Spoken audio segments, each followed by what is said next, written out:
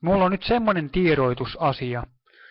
Eli täällä on nyt kaksi käyttäjää täällä YouTubessa, jotka tekevät minulle harmia ilman mitään syytä.